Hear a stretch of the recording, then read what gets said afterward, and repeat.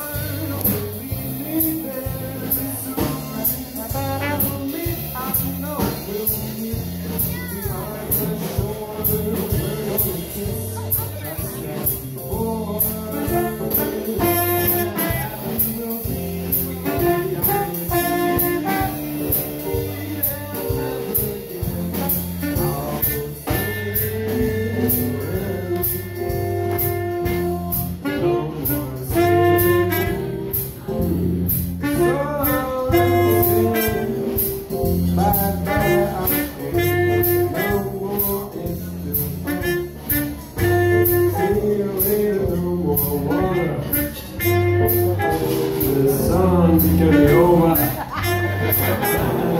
One, two.